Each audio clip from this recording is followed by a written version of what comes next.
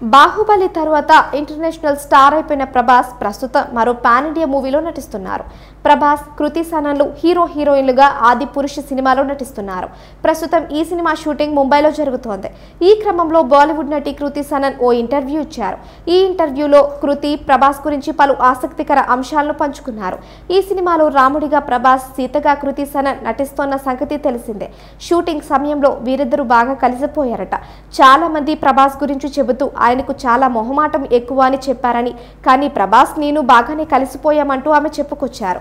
ఓ విషయం మా ఇద్దరికి చాలా కామన్ అని. దానివల్లనే ఇద్దరం తొందరగా కలిసిపోయామని ఆమె చెప్పారు. ఇంతకీ అదేంటంటే ఫుడ్ అట. ఇద్దరికి ఫుడ్ అంటే బాగా ఇష్టం. బహుశా ఆ విషయమై మా ఇద్దరిని దగ్గర చేసిందని ఆమె చెప్పుకొచ్చారు. ఇటీవల ఓ ఛానల్కి ఇచ్చిన ఇంటర్వ్యూలో కృతి సనన్ ఈ విషయాలు పంచుకున్నారు. ప్రభాస్ కృతి సనన్ ప్రస్తుతం ఆది పురుష్ షూటింగ్తో బిజీగా ఉన్నారు. Hello everyone please do subscribe to JB TV Telugu hi ఓర్స్ please subscribe JB TV Telugu please subscribe JB Telugu news channel hello everyone Neha Deshpande please subscribe to JB TV Telugu